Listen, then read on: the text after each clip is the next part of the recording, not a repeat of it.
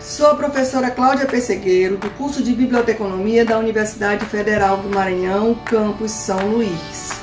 Biblioteconomia um curso com mais de 50 anos, vem trabalhando na formação de bibliotecários, que são pessoas que trabalham diretamente com a informação.